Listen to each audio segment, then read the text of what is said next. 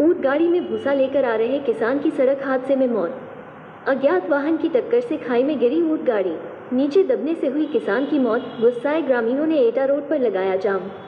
CO, तहसीलदार और पचोकरा police मौके पर ग्रामीणों को समझा बुझाकर खुलवाया जाम। थाना पचोकरा क्षेत्र के एमलिया पेट्रोल पंप के पास हुई घटना, पुलिस ने शव पोस्टमार्टम को भेजा।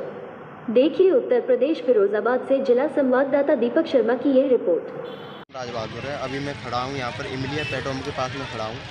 ये इनों का नाम राजवीर था राजवीर था और जो है गाँव मिलिक से डेली यहाँ पे बच, बच्चों कर आते थे और जो है भूसा का काम करते थे। लेकिन क्या हुआ, आज सुबह आए हैं लगभग डेढ़ बजे वहाँ से निकले हैं और यहाँ पे साढ़े चार बजे लमसम उधर से एंबुलेंस आ रही थी, गाड़ी अपनी साइड पे थी। एंबुलेंस ने टक्कर मार दी है, बुग्गी पलट गई है बुग्गी के नीचे ऊँट ऊँट के नीचे ये थे और जो है एंबुलेंस हाथ नहीं आई है। प्रशासन भी कार्रवाई नहीं कर रहा है अभी यहाँ पर।